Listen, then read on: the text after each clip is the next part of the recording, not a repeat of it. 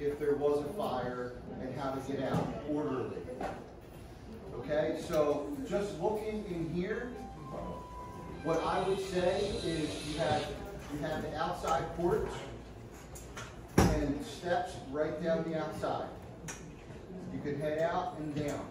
Now, if some of you cannot get around that well, or you don't feel comfortable getting down the steps, we will be here, like I said, within two minutes.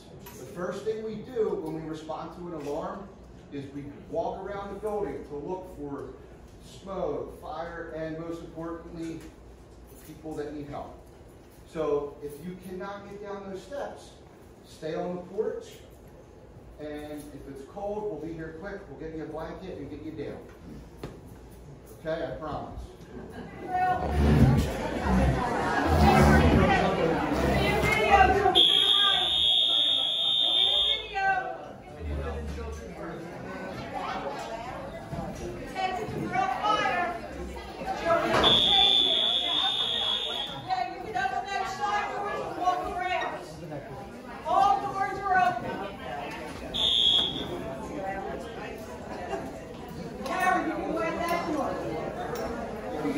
back